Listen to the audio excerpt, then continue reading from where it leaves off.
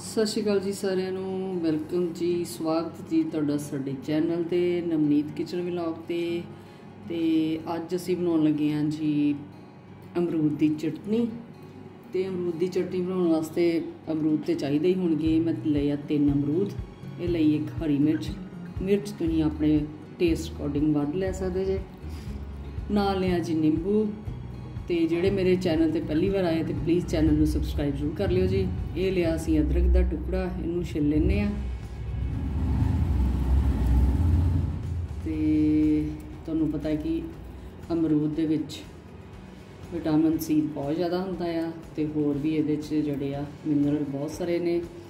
ਤੇ ਇਹ ਤੁਹਾਨੂੰ ਪਤਾ ਕਿ ਸਿਹਤ ਵਾਸਤੇ ਬਹੁਤ ਵਧੀਆ ਆ। ਖਾਣ ਵਾਲਾ ਫਰੂਟ ਦੇ ਵਿੱਚ ਜਿਹੜਾ ਅਮਰੂਦ ਹੈ ਵੀ ਸਸਤੇ ਨੇ। ਤੇ ਵੈਸੇ ਵੀ ਵਧੀਆ ਪਹਿਲੇ ਤੇ ਹਰ ਘਰ 'ਚ ਅਮਰੂਦ ਹੁੰਦਾ ਹੀ ਹੁਣ ਹੀ ਨਹੀਂ ਹੈਗੇ। ਇਹ ਅਮਰੂਦ ਤੁਹਾਨੂੰ ਪਤਾ ਕਿ ਕਬਜ਼ ਰਹਿਤਾ ਜੇ ਕਬਜ਼ ਹੋਵੇ ਤਾਂ ਕਬਜ਼ ਨੂੰ ਦੂਰ ਕਰਦਾ ਆ।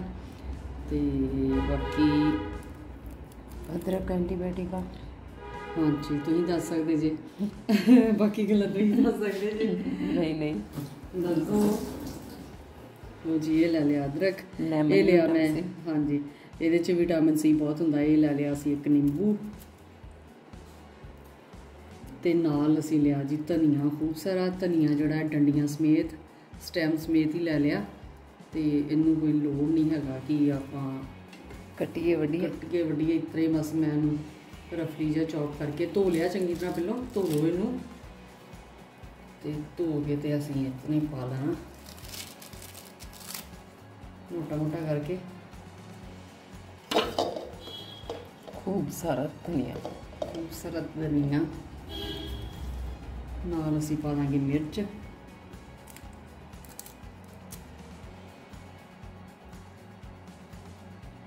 ਨਾਲ ਹੀ ਪਾ ਦਾਂਗੇ ਅਦਰਕ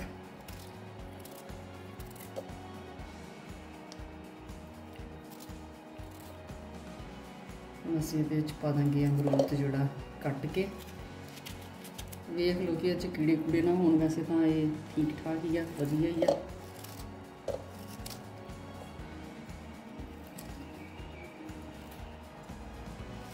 ਇਹ ਪੱਕੇ ਵਾਲੇ ਅਮਰੂਦ ਨੇ, ਜਿਸ ਤਰ੍ਹਾਂ ਅਸੀਂ ਖਾਂਦੇ ਆ ਕੱਚੇ ਅਮਰੂਦ ਨਹੀਂ ਆ, ਪੱਕੇ ਹੋਏ ਅਮਰੂਦ ਨੇ।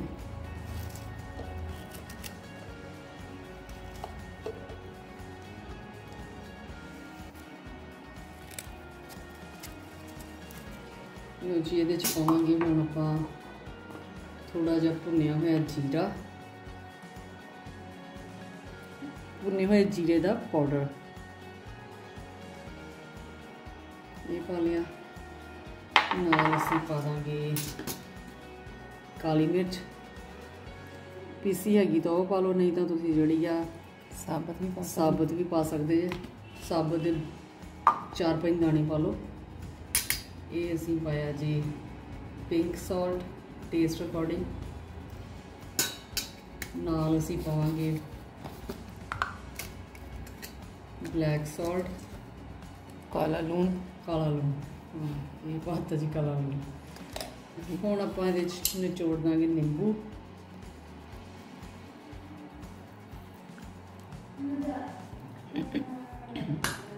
ਥੋੜਾ ਜਿਹਾ ਚ ਪਾਣੀ ਐਡ ਕਰ ਲਾਂਗੇ 2 ਕੁ ਚਮਚ। ਲਓ ਜੀ ਥੋੜਾ ਜਿਹਾ ਮੈਂ ਪਾਣੀ ਪਾ ਲਿਆ। ਹੁਣ ਅਸੀਂ ਨਿਊਟਰੀ ਬਲੈਂਡ ਚ ਇਹਨੂੰ ਜਿਹੜਾ ਚੰਗੀ ਤਰ੍ਹਾਂ ਬਲੈਂਡ ਕਰ ਲਾਂਗੇ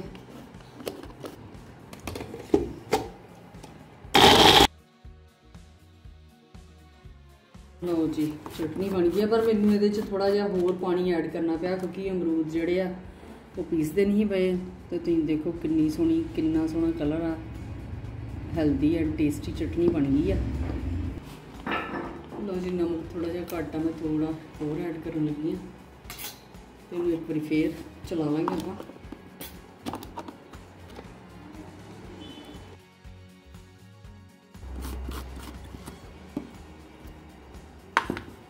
ਲਓ ਜੀ, ਚਟਨੀ ਬਣ ਗਈ ਆ ਜੀ। ਇਹਨੂੰ ਆਪਾਂ ਇੱਕ ਕਟੋਰੀ 'ਚ ਕੱਢ ਲੈਂਦੇ ਆ